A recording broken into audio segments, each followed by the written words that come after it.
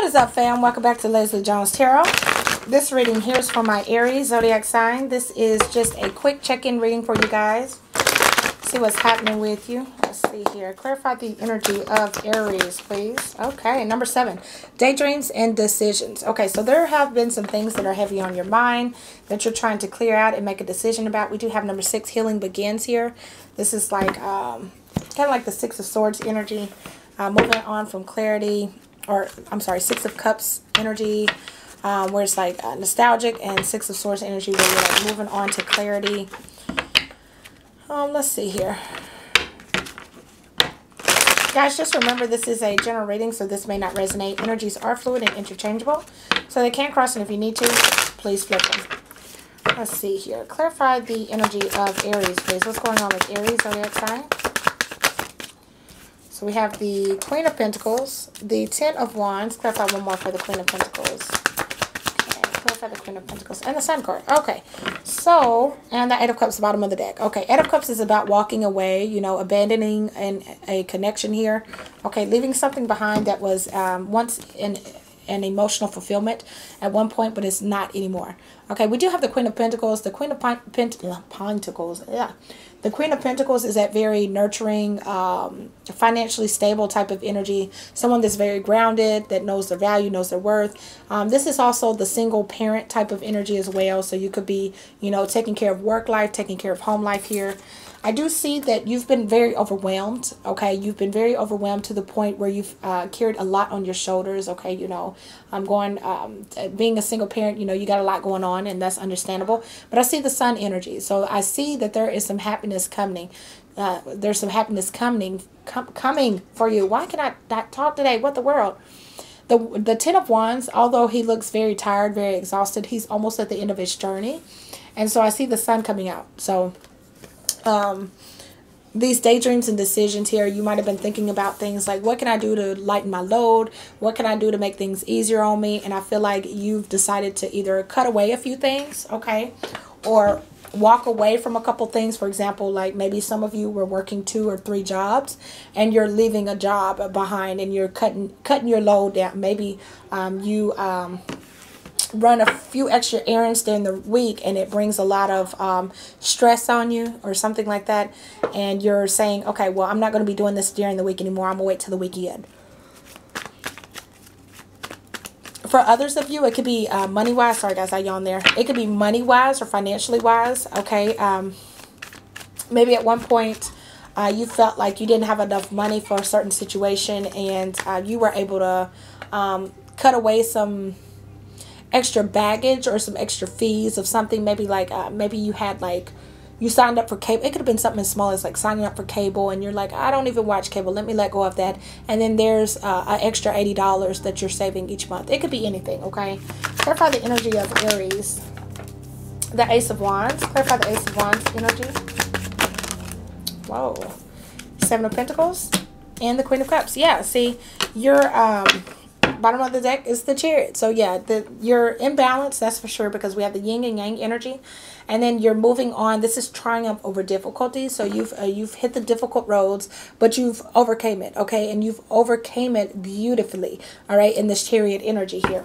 I do see the Ace of Wands, and the Ace of Wands is a new passionate, fiery beginning for you. Okay, this is also luck being on your side. So whatever you're going after, or you're doing, or you're diving into, just know that the universe is uplifting you and uh, rejoicing you and letting you know that this is perfect, uh, perfect timing for you to do that here. We have the Seven of Pentacles and the Queen of Cups. Okay, so this is uh, like the energy of where you're investing your time. Okay, with the Seven of Pentacles watching who you invest your time in or what you're investing your time in here even with the Queen of Cups here, it's very motherly type of energy, very loving and caring type of energy, uh, but it's also very intuitive. So I feel like for whatever this is, you're listening to your intuition, you're watching where you're uh, putting your time and your energy, your thoughts and your, your um, mental and, and heart and love into like you're you're watching out what you invest in you're kind of like sitting back and seeing okay well i spend money on this and i really don't have to. Let me take that off. Okay let me cancel that.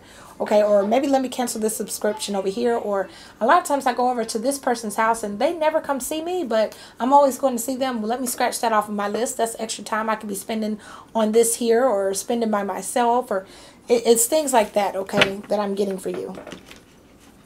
Um, let's see. What other messages? Let's do the um, Of the Ocean Oracle. What other messages do you have for Aries? Whoa.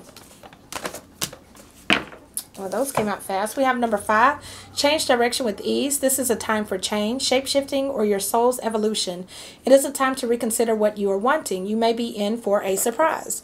And that's exactly what I feel that you're doing. You're saying, what do I want to spend my time on? What do I want to invest in? You know, you're going through a transition. You're like, okay, well, if this is too much for me, let me let go of this. Uh, if this is not enough for me and I want to do more of that, then I'm going to do more of that, you know, and maybe exit out this over here because I don't really like doing that. Uh, we also have number 16, so inner desires. Set some intentions. You are entering a phase of plenty or may have a sudden windfall. Goals are within your grasp.